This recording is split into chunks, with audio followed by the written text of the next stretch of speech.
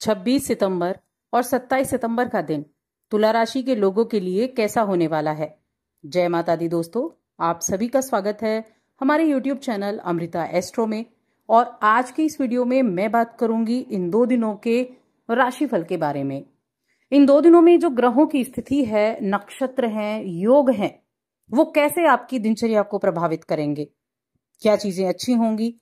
क्या उपाय करने हैं? क्या सावधानियाँ रखनी है? तो ये सब कुछ आपको जानने को मिलेगा। तो बस एक छोटा सा रिक्वेस्ट है। चैनल पर पहली बार आए हैं तो सब्सक्राइब ज़रूर करके जाएँ। तो चलिए पहले ग्रह नक्षत्रों की स्थिति के बारे में हम यहाँ जानकारी ले लेते हैं। अभी जो 26 सितंबर का दिन है, ये गुरुवार का दिन है और कृष्ण पक्ष की नवमी तिथि दोपहर तक है, साढ़े बारह तक। उसके बाद दसवीं तिथि प्रारंभ हो जाएगी। पुनर्वसु नक्षत्र और रात्रि में पुष्य नक्षत्र भी लग जाएगा। परिह नाम का योग बना हुआ है। चंद्रमा मिथुन राशि में है, शाम पाँच बजकर तेरह मिनट तक। उसके बाद कर्क राशि में आ जाएँगे। और सूर्य कन्या राशि उत्तरा फाल्गुनी नक्षत्र में, लेकिन आज सूर्य के नक्षत्र का भी परिवर्तन होगा और वो हस्त नक्षत्र में प्रवेश करेंगे। अब देखिए, यहाँ कई ऐसे योग बनेंगे, आज के दिन बहुत पावरफुल योग बनने वाले हैं। सबसे पहले सर्वार्थ सिद्धि योग बन रहा है, जो पूरा दिन बनेगा। दूसरा अमृत सिद्धि योग बन रहा है, जो पूरा दिन बनेगा। और एक जो सर्वश्रेष्ठ योग है वो है गुरु पुष्य योग।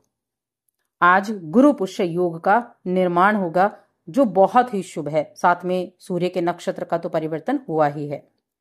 27 सितंबर, शुक्रवार का दिन और कृष्ण पक्ष की दसवीं तिथि दोपहर एक बजकर बीस मिनट तक। उसके बाद एकादशी तिथि प्रारंभ हो जाएगी और पुष्य नक्षत्र रहेगा। शिव नाम का योग बन गया। कर्क राशि के चंद्रमा है। सूर्य कन्या राशि हस्त नक्षत्र में है। वहाँ पहले ही बुधादित्य योग बना हुआ है। सूर्य के बुद्ध की युति से और साथ में केतु भी है। अब इस दिन जो, ये जो अब ग्रहों की स्थितियाँ हो चुकी हैं, इनका जो प्रभाव है, वो कैसे आपके हर एक क्षेत्र को प्रभावित करने वाला है? तो सबसे पहले मैं बात करूँगी 26 सितंबर के बारे में, जिस दिन योग बहुत अच्छे हैं। तो यहाँ अगर 26 सितंबर को देखा जाए तो आपको बस अपनी हेल्थ का तो ध्यान रखने की आवश्यकता है। क्योंकि एक तो अगर आप पिछले कुछ दिनों से काफ़ी बिज़ी चल रहे थे तो थोड़ी थकान का अनुभव आप कर सकते हैं। थकान हो सकती है, जिसके कारण आपका मन काम करने का ना करे, ऐसा हो सकता है। तो उसके लिए एक तो रेस्ट बहुत ज़रूरी है, और साथ में आपको पौष्टिक आहार बहुत ज़रूरी है। जो आपका जो एनर्जी लेवल है, उसको उठाए रखने में काफ़ी अहम कारगर साबित होगा। अब बाकी चीज़ों की बात करते हैं तो अगर आप लोन लेना चाह रहे थे और काफ़ी दिनों से आप बड़ा चक्कर काट रहे हैं लोन लेने के लिए। तो मैं कहूँगी वो डील आपकी फाइनल हो सकती है। आज का दिन उन चीज़ों के लिए अच्छा है। ये जो योग बने हैं ना, मैंने जिन योगों की बात की, बुधादित्य राजयोग पहले से बना है। नक्षत्र का भी परिवर्तन हो गया सूर्य का। और साथ में सरवार सिद्धि, अमृत सिद्धि, देखिए ये दो, ये जो योग है ना, ये काम को सिद्ध कराने के लिए अच्छा है। यानी कि अगर आप प्रयास करते हैं तो कहीं ना कहीं कार्य के सिद्ध होने की संभावनाएँ बढ़ जाती हैं। और गुरु पुष्य योग बनेगा, हालाँकि ये रात्रि में बनेगा। तो आज आपके लिए बहुत अहम दिन साबित हो सकता है। आपके लिए ऐसी कामों के लिए जैसे लोन वगैरह मिल गया, जिस पर आप यकीन करते हैं, वो आपको कुछ बातें बता रहा था। हो सकता है वो सारी सच बातें ना बताएँ। आपके अंदर एक बड़ी क्वालिटी है। अगर आप तुला राशि के जातकों को देखें ना तो बड़े हँसी मजाकिया स्वभाव के मिलेंगे आपको। तो ऐसा जो दूसरों को खुश करने की क्षमता आपके अंदर है, वो कई बार आपके ऊपर बड़ी हावी भी हो जाती है, क्योंकि हर किसी को खुश करना बड़ा आसान काम नहीं है, ना आप हर किसी को खुश कर सकते हैं।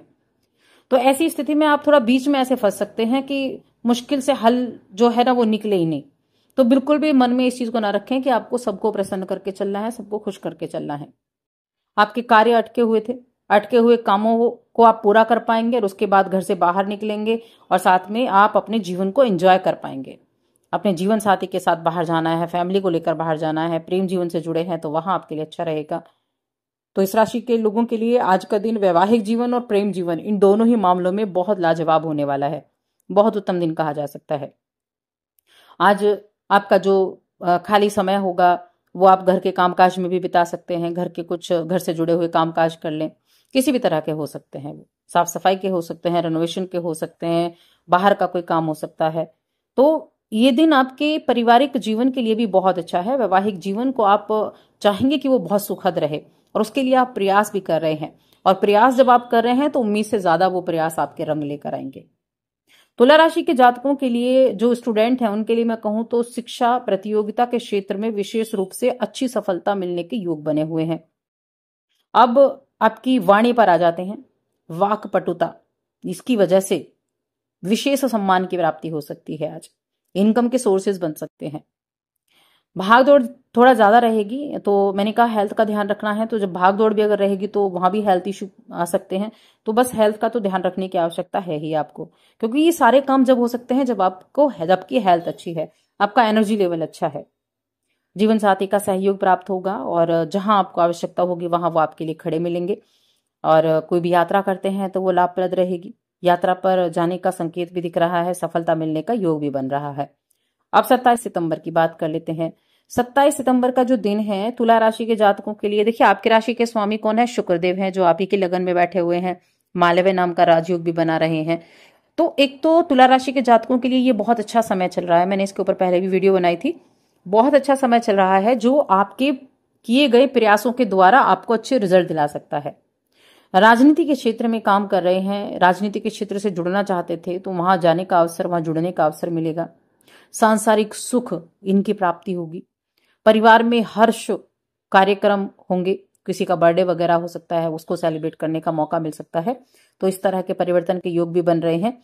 लव पार्टनर के द्वारा कही जाने वाली कुछ बातों को बस आपको नजरअंदाज करना होगा। कई बार होता है ना, बातों बातों में ऐसे शब्दों का प्रयोग कर देते हैं, समझ नहीं आता कि ये प्रतिक्रिया क्या दें। ऐसी स्थिति में कुछ भी कहने से अच्छा है, थोड़ा शांत रहें। आप नजरअंदाज करेंगे, जितना उतना ज़्यादा अच्छा रहेगा। और कोई भी ज़िम्मेदारी को तो आप हमेशा निभाते हैं, लेकिन कोई भी ऐसी ज़िम्मेदारी को करने से बचें जो गैर जिम्मेदार आपको लग रही हो। ऐसी ज़िम्मेदारी से दूर ही रहेंगे तो अच्छा रहेगा, वरना फंसेंगे तो फिर परेशान हो जाएँगे। शाम को किसी समारोह वगैरह में जाना पड़ सकता है। कोई ऐसे व्यक्ति के जो काफ़ी ज़्यादा पॉपुलर व्यक्ति हो, ऐसे व्यक्ति से मिलने का आपके लिए बन सकता है कि जहाँ जाकर भी आपको खुशी हो। और महत्वपूर्ण काम में आपकी गति आएगी, आपका एनर्जी लेवल बढ़ता हुआ दिखाई देगा, ऐसे लोगों से मिलकर। तो वहाँ चीज़ें कहीं ना कहीं आपके लिए बड़ी फ़ायदेमंद बनी हुई हैं। अभी श्राद्ध पक्ष चल रहे हैं। इन तिथियों में आने वाले श्राद्ध आप कर सकते हैं। जो अगर आपके श्राद्ध हैं इन तिथियों में तो। और नहीं है तब भी दान पुण्य के कार्य ज़रूर करें। दान पुण्य में आपको कुछ नहीं करना है। सिर्फ़ जरूरतमंद लोगों को खाना खिलाना है और कुछ नहीं करना है। कुछ ना कुछ खिलाएँ ज़रूर। ये एक ऐसा उपाय है, कहते हैं ना कि अन्न का दान महादान होता है। और जब श्राद्ध पक्ष में आप बड़ी इच्छा से अपने जब किसी को खाना खिलाते हैं, भोजन खिलाते हैं तो वो भोजन अपने पितरों को, आपके पितरों को लगता है और आपके पितर प्रसन्न होते हैं और आपको आशीर्वाद देकर जाते हैं। चाहे वो आपके पितरों के श्राद्ध का दिन है और नहीं है, तब भी। तो इस कार्य को करें, साथ ही चैनल को सब्सक्राइब कर लें, वीडियो को लाइक और शेयर करना ना भूलें।